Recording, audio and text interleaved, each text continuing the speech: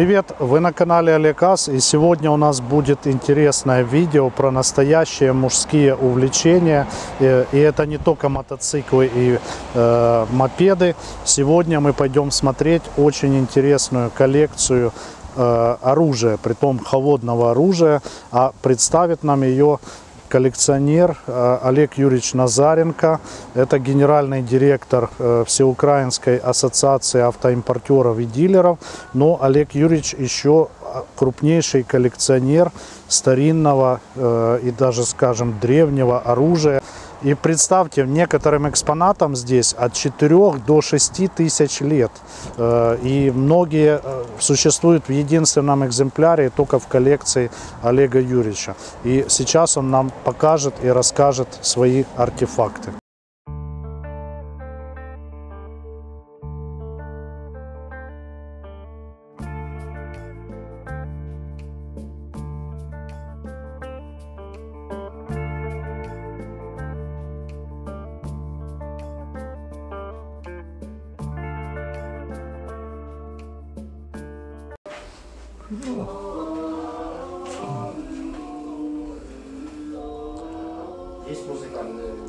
Начать можно.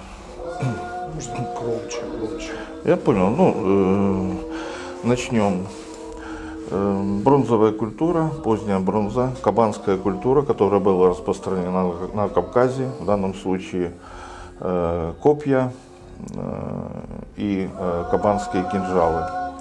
Кабанская культура была тесно переплетена с культурой скифов.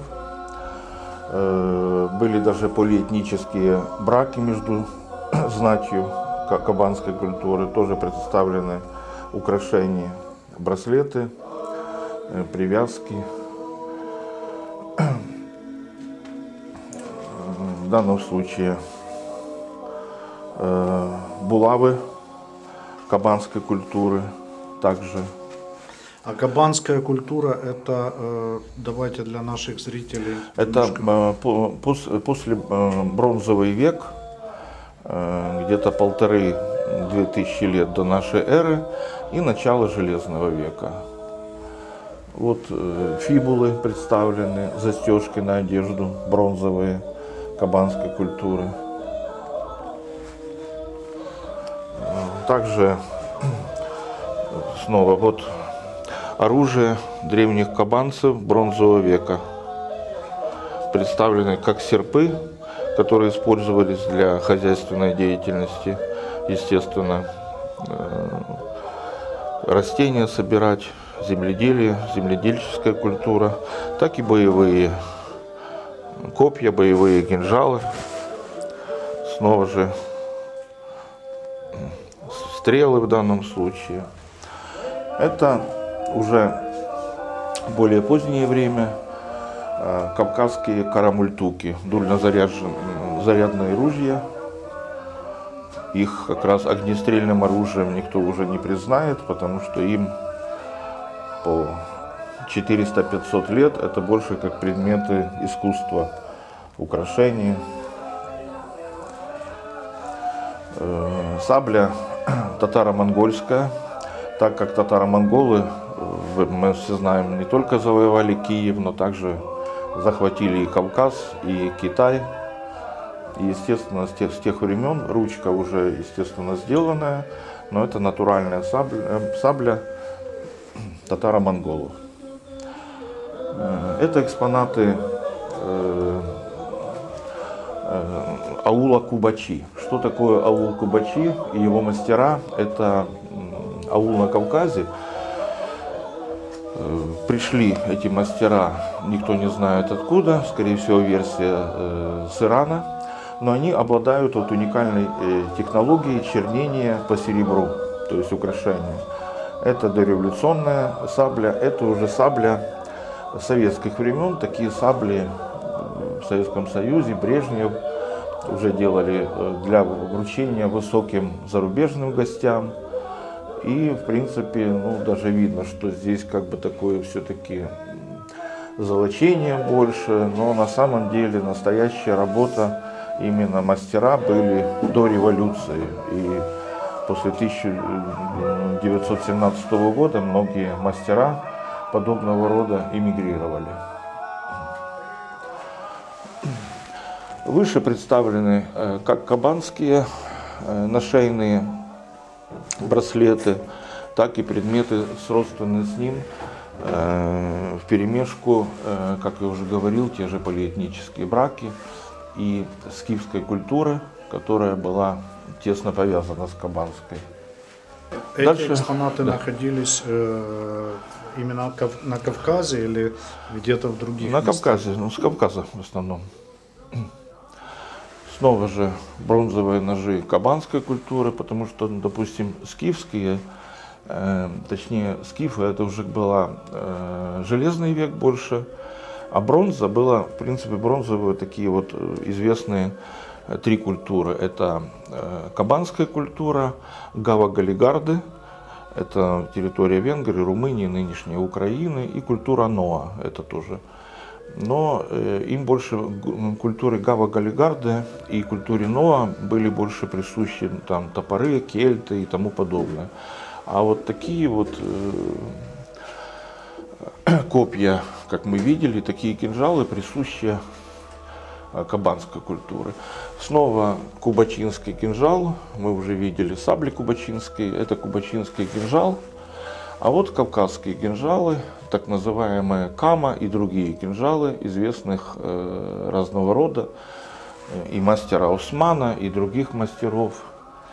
Э, Что интересно, среди грузинских кинжалов встречаются как кинжалы э, с нормальной ручкой, которая ну, боевая, можно сказать, да, можно брать в руки, так и кинжалы с довольно узкой, э, узкой ручкой, как вот этот или вот этот и другие. Были версии, что это детские кинжалы, но их достаточно часто, и детям, я думаю, что позволить оружие не могли.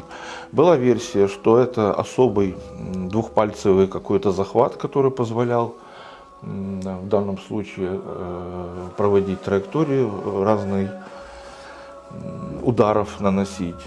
Но э, я думаю, что правильно всего версия, что после восстания Хаджи Мурата было негласное указание, потому что если было гласное, то был бы какой-то царский указ, и он бы нашелся, да, потому что, как Булгаков говорил, рукописи не горят.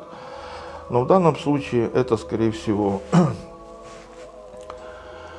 э, боялись, с одной стороны, кавказцев лишить оружия, но с другой стороны, боялись следующих восстаний. Поэтому было предписано изготавливать э, кинжалы такой, э, с такой рукояткой, которыми, если вы наносите удар проникающий, рука соскальзывает и переходит на лезвие. То есть это больше уже при, при царизме Мера безопасности. мера безопасности, то есть, да, позволить Кавказу ходить с оружием, вооруженным, но это оружие в случае боя было бесполезно, потому что представьте себе, вот как схватить, у меня рука не такая уж большая, но если захват делать, то у меня часть перейдет на лезвие элементарно. А вот, пожалуйста, да, это настоящий боевой кинжал, которым можно наносить именно действительно серьезные удары. Вот эти кинжалы с э, кривыми ручками.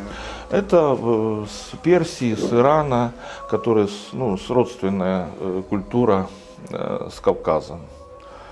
Э, Также и, и вот как подобно вот этому. Это снова же мы видим присущие кабанской культуры, именно вот бронзовые Металл тогда еще не изобрели, именно бронзовые кинжалы, а это уже боевые именно. Вот это не серповидная форма, которая можно растение, а это именно оружие.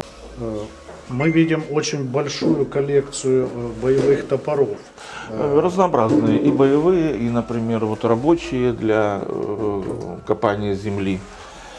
Это топоры, здесь уже немножко смесь, это разных эпох, как и кольтообразные топоры, так и э, там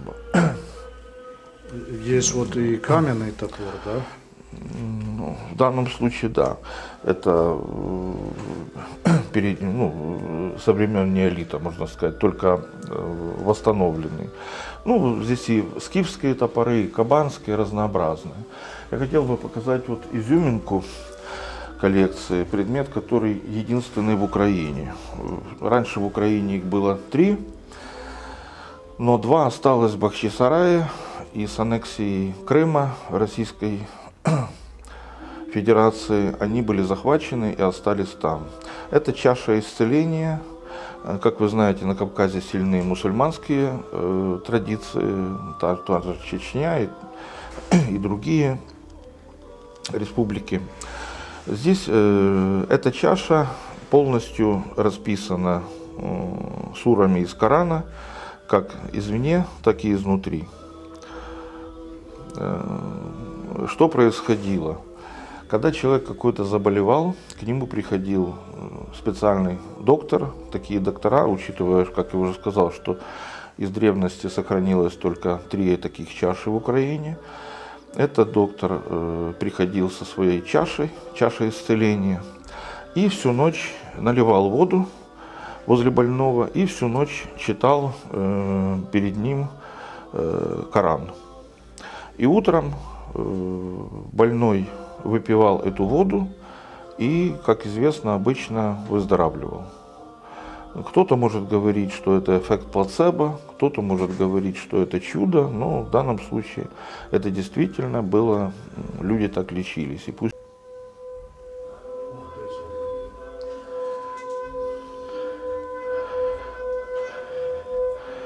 На самом деле это Тибет, поющая чаша, так называемая. Многие о них знают, их изготавливают, но это как раз привезена была с Кавказа. И э, это, наверное, единственная чаша в мире, ну, возможно, нет, возможно, да, в которой, э, кроме э, того, что она поет, еще поднимается вода. Там, не считайте меня фокусником.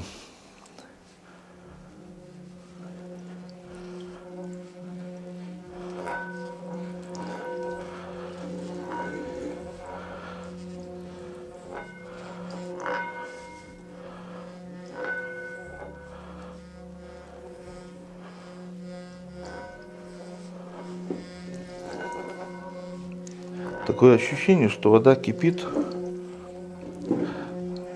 Ну и, как говорят знатоки, меняется ее структура.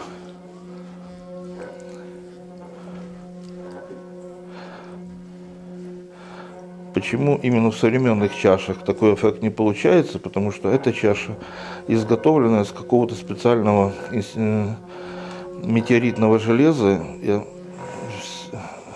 все время это, думаю, сдать ее в Институт материаловедения, чтобы провести анализ.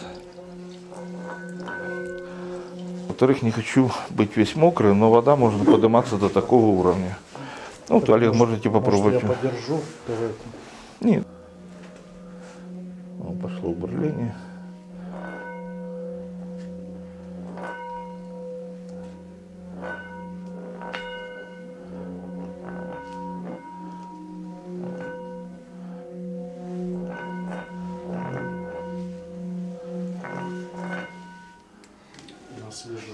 Можешь попробовать. В данном случае, вне зависимости от количества воды, все равно это происходит. Можно налить больше воды, можно я, меньше. Я, кажется, разобрался. Ее не надо быстро крутить. Да. Прижимать просто плотно, чтобы было воздействие на металл. То есть именно воздействие вот этой штуки на металл дает вот этот эффект. То есть внутри металла происходят какие-то процессы, которые дают эффект на воду. Это знаменитые греческие амфоры времен Ясона, когда Ясон ходил за золотым руном в Колхиду. Это амфора, вот амфора, ну эти клееные, то есть именно вот той же найденной на Кавказе времен э, легендарных ясонских походов, но на самом деле мы знаем, что это, кроме легенды, греки и э, ходили на походами на Кавказ, римляне тоже. Э, А вот эта ценность в том, что это не реставрированные, это как найденные в таком виде амфоры, вот в таком виде они и были, перевозили древние греки. А как долго вы э, собирали вот эту коллекцию?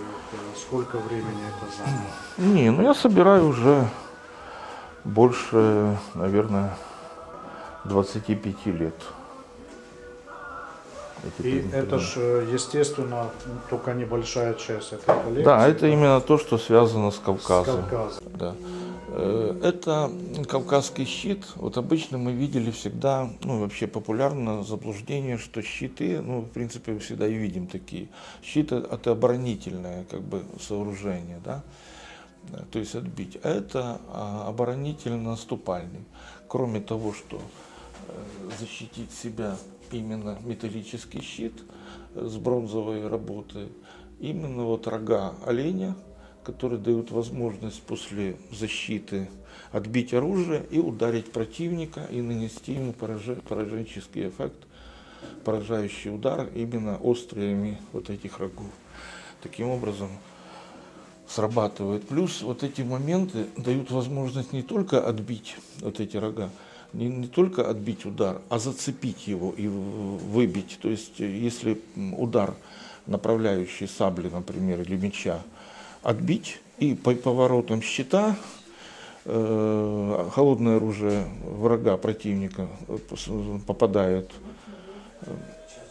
скажем, в эти промоины и возможность его вырвать, и потом нанести противнику поражающий удар. И это именно кавказцы, да, использовали такой? Ну, кавказцы, э, в принципе, культура булгар подобные, э, крымские э, татары и булгарские татары.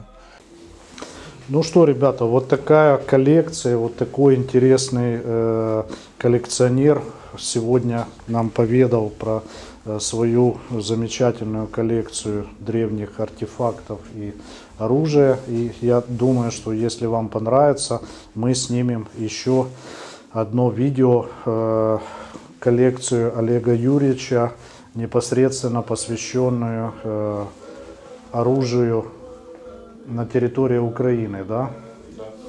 Вот. э, И э, Олег Юрьевич еще обладает э, и другими интересными коллекциями в других направлениях, но об этом вы узнаете чуть попозже.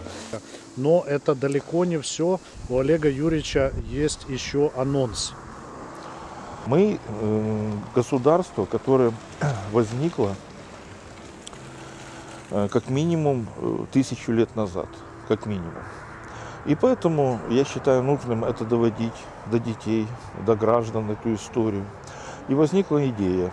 В Украине есть, например, музей э, трипольской культуры в селе Трипилля. В Украине есть там этнопарк Киевской Руси или Мамаева Слобода, в которых э, берется срез Киевской Руси. В Украине есть Пирогово, там средневечные хатынки. В Украине есть э, там разные музеи разных эпох. Но нету этнопарка, который бы захватывал все исторические периоды Украины. Вот возникла идея, э, специально есть э, выделенных э, 39 гектар в Вышгородском районе. И там мы планируем создать вот этот этнопарк-музей, который бы захватывал все исторические периоды э, Украины, Руси. Украины или Украины Киевской Руси. А что там будет? э, Это будет там, начиная, будет, э, люди смогут зайти в пещеру э, периода неолита. Естественно, это будет выкопана сейчас пещера, уже с гидроизоляцией и тому подобное. Но максимально сделать соответствие историческим периодам. И можно будет увидеть там э, реальные э, артефакты, которые есть в моей коллекции. Например, там каменные топоры, кремниевые серпы и тому подобное. Можно будет зайти э, жилище скифа и увидеть э, предметы эпохи скифской, э, скифские кофе, копья, скифские ножи, скифские украшения. То же самое аналогично жилище Сармата, жилище Анта, жилище Кельта, жилище Гота, жилище времен Хазара, Салтыковца, жилище Киевской Руси, жилище тех же казаков, потому что курень казацкий тоже почему-то все считают, что это шалаш. Абсолютно нет, это своего рода землянка, э, в которой каза- казаки, зимник, в котором казаки жили зимой. И, э, ес- естественно, насколько мне известно, на сегодня в Украине все говорят о повстанческом движении, УПА, Украинская повстанческая армия, ОУН. Но нет, почему не восстановлено, чтобы люди могли э, выкопать тот же схрон и увидеть, э, реально зайти в этот схрон. А у меня тоже в коллекции есть э, около 400 буфонов и листовок УПА ОУН, оригиналов. И можно будет с ними ознакомиться, увидеть оружие, естественно, де- деактивированное того периода, увидеть артефакты периода и закончить это, естественно, музеем АТО. Такие вот идеи. А, э, автомобильная или какая-то другая? А, ну, естественно, это расписал. А также э, понятно, что на территории этого музея хотим разместить музей холодного оружия, потому что в Запорожье есть музей холодного оружия, во Львове есть, в Киеве, в столице нету. И, естественно, музей автомобиля, причем музей отечественного автомобиля.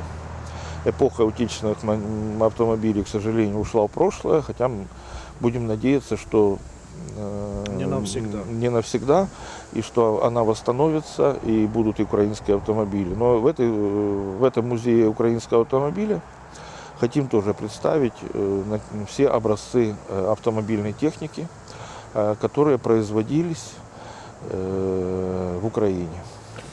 Ну, вот такие планы у Олега Юрьевича э, и вот такие планы по созданию будущего музея. Подписывайтесь на канал, ставьте колокольчик, чтобы не пропустить интересные видео и следующие анонсы.